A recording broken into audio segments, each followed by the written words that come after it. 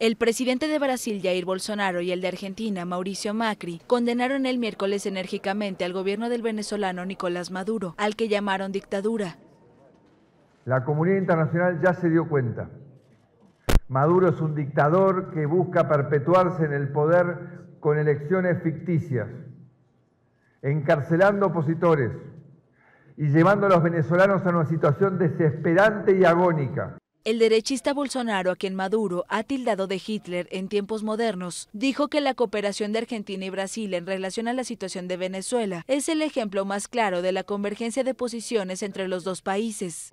Macri recordó que Argentina y Brasil consideran ilegítimo el nuevo mandato de Maduro y reconocen en su lugar a la Asamblea Nacional como única institución legítima en el país caribeño.